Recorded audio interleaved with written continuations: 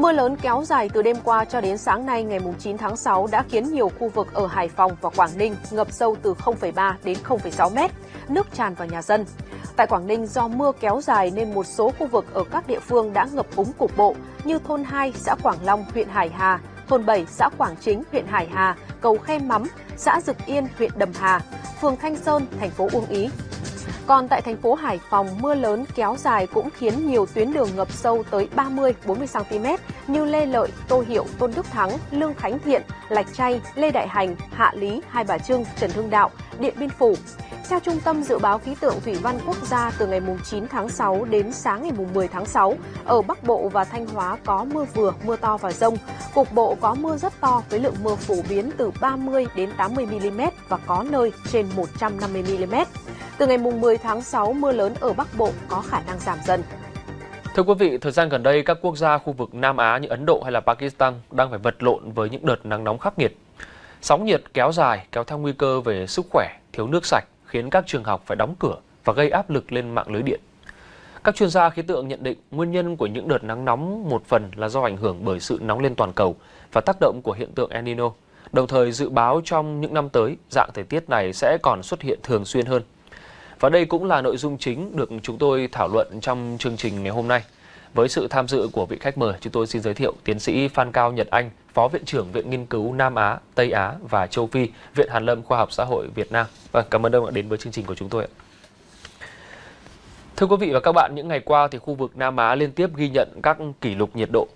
Như là Ấn Độ, nắng nóng kéo dài suốt nhiều tuần đã lên tới đỉnh điểm hôm 29 tháng 5 vừa qua với mức nhiệt quan trắc lên tới 52,9 độ C. Đây là mức cao nhất từng được ghi nhận. Trong khi đó, tại nước láng giềng là Pakistan, người dân cũng phải vật vã trong cái nóng khắc nghiệt là 53 độ C.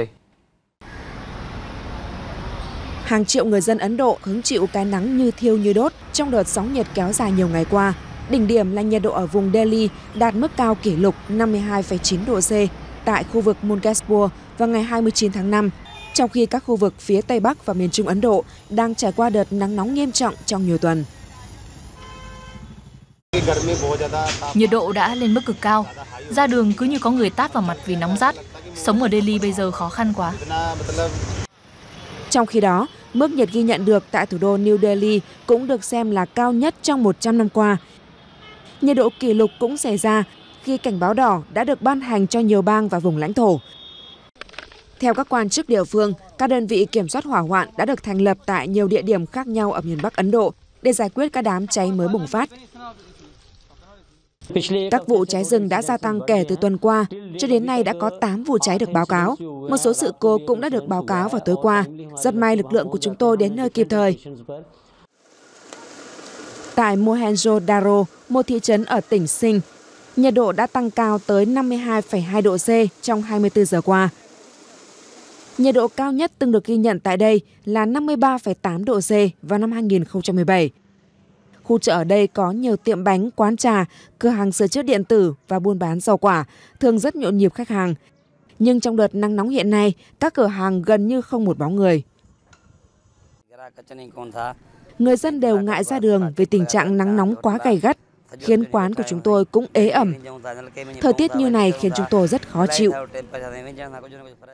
Các quan chức chỉ ra đợt nắng nóng hiện nay là do biến đổi khí hậu và là thảm họa mới nhất liên quan đến khí hậu xảy ra ở nước này trong những năm gần đây. Hãy cùng đến với cuộc trao đổi ngay bây giờ với à, tiến sĩ. À, thưa ông, chúng ta thấy là Ấn Độ, Pakistan, Bangladesh đang phải à, vật vã, phải chịu đựng những cái trận nóng khủng khiếp gần 60 độ. Và không biết là theo quan sát và nghiên cứu của ông thì ờ, Nam Á có phải là khu vực chịu ảnh hưởng nặng nề nhất của các đợt nóng hiện nay hay không ạ? Vâng, thì chúng ta cũng biết rằng là hiện tượng biến đổi khí hậu hiện nay đang diễn ra trên toàn cầu. Chính vì vậy mà nhiều nơi trên thế giới là cái nhiệt độ đã có cái sự tăng lên. Và rõ ràng Nam Á là một trong những cái khu vực mà uh, nóng ở trên thế giới hiện nay. Và qua theo dõi tất cả những cái số liệu, những cái chỉ số về nhiệt độ rồi sự ảnh hưởng của nó thì chúng ta thấy rằng năm nay rõ ràng Nam Á là một cái khu vực mà chịu ảnh hưởng rất là nặng nề nếu mà chúng ta theo dõi lại trong những cái thời gian vài năm trở lại đây thì chúng ta cũng biết là ví dụ như năm 2023 thì không chỉ Nam Á mà cả khu vực Đông Nam Á thì nhiệt độ cũng rất là cao. Và cái thời điểm của năm 2023 thì khu vực Đông Nam Á còn cao hơn, nhiệt độ còn cao hơn so với khu vực Nam Á. Tuy nhiên trong cái năm 2024 này thì cái nhiệt độ khu vực Nam Á là cao hơn và như những cái số liệu chúng ta cũng thấy là trên 50 độ C. Đặc biệt tại các nước như Ấn Độ, uh, Pakistan rồi thì Nepal, chúng ta thấy là những cái ảnh hưởng của nó rất là mạnh mẽ. Ngay như ví dụ ở Ấn Độ chúng ta cũng thấy là rất nhiều người đã bị sốc nhiệt và say nắng và dẫn đến tử vong. Và thậm chí ngay cả những cái quan chức ví dụ như bộ trưởng bộ giao thông của Ấn Độ khi mà trong cái quá trình uh, đi uh, thuyết phục để mà tranh cử thì ông cũng đã bị uh, ảnh hưởng bởi uh, sốc nhiệt. Rồi thì ở những các nước khác ngay cả Nepal hay là Pakistan thì đều có hiện tượng những là người chết là do cái uh, nhiệt độ tăng cao và ở đây thì chúng ta cũng thấy như vậy thì có thể nói là trong cái năm 2024 này là Nam Á đang trải qua những cái thời điểm thời tiết rất là khắc nghiệt đặc biệt là nắng nóng và với những cái số liệu như vậy thì rõ ràng vào cái thời điểm này thì Nam Á chính là cái khu vực mà chịu ảnh hưởng nặng nề nhất của cái đợt nóng uh, khắc nghiệt trong cái thời gian vừa qua. Vâng, rõ ràng mùa hè nóng là điều dễ hiểu thôi nhưng tại Nam Á nó nóng bất thường như vậy thì phải có nguyên nhân nào đó đúng không ạ, thưa ông? Thì đúng ra chúng ta cũng biết là trong cái bối cảnh chung đấy chính là của biến đổi khí hậu thì nhiệt độ của toàn cầu cũng tăng lên. Thì đặc biệt những cái khu vực như Nam Á như tôi cũng đã nói đây là cái khu vực mà nó bản thân nó cũng đã là là cái khu vực nóng ở trên thế giới. Thì rõ ràng là trong cái bối cảnh hiện nay thì rõ ràng là cái việc mà nóng thì nó càng xảy ra nặng nề hơn. Ở đây chúng ta biết khi mà nói nguyên nhân thì trước hết tôi cho rằng đây chính là cái yếu tố địa lý. Bản thân cái khu vực Nam Á thì cũng nằm gần xích đạo, là một cái khu vực trí tuyến, là cái khu vực mà như tôi nói đấy chính là cái khu vực và bản thân kể cả chưa nói đến cái chuyện biến đổi khí hậu trước đây thì rõ ràng cái khu vực này vẫn là cái khu vực mà chịu nhiều cái ảnh hưởng và chịu nhiều với cái nhiệt độ là liên tục cao. Do đó những cái hiện tượng như hạn hán, khô cằn là cũng thường xuyên đã xảy ra. Tuy nhiên ở đây thì chúng ta cũng thấy đó là trong cái thời gian gần đây với cái sự biến đổi của khí hậu thì những cái khối không khí nắng nó liên tục nó có ảnh hưởng. Và một cái ra nữa là chúng ta cũng thấy là đặc biệt cái khu vực Nam Á này chúng ta cũng thấy đấy chính là cái sự có cái, cái gọi là cái uh, dãy núi Himalaya rất là cao. Và với cái điều kiện tự nhiên như vậy thì cái dãy núi Himalaya nó chắn những cái dòng gió cái cái luồng gió từ khu vực Bắc Á mà xuống chính vì vậy mà bản thân là khi mà những cái nhiệt độ nắng như vậy mà lại không có được cái sự hỗ trợ giải nhiệt bởi những cái dòng uh, gió từ khu vực Bắc Á thì nhiệt độ nó càng tăng lên. Với những nguyên nhân như vậy thì tôi nghĩ rằng nó là càng làm cho cái khu vực Nam Á nó chịu ảnh hưởng mạnh mẽ hơn nữa. Một cái khía cạnh nữa thì chúng ta cũng thấy là rõ ràng là trong cái bối cảnh của biến đổi khí hậu thì những cái hiện tượng cái dòng khí nóng hay như hiện tượng El Nino thì cái tần suất nó xảy ra là càng nhiều hơn chính vậy nó cũng cộng hưởng mà làm cho cái khu vực này nó càng uh, bị dễ bị uh, nóng hơn rất nữa. Ngoài ra ở đây chúng ta cũng nhận thấy đấy chính là phải bản thân từ chính bản thân của các nước ở khu vực Nam Á. Chúng ta cũng biết khu vực Nam Á ví dụ như Ấn Độ Pakistan thì các nước này thì đang trong cái quá trình phát triển rất là mạnh mẽ. Vì vậy mà cũng đẩy mạnh cái sự công nghiệp sản xuất rồi thì xây dựng cơ sở hạ tầng những tòa nhà cao. Chính vì vậy mà nó càng tăng lên nữa làm cái tăng cái nhiệt độ ở những cái khu vực này trong cái quá trình đô thị hóa rồi có quá trình mà phát triển.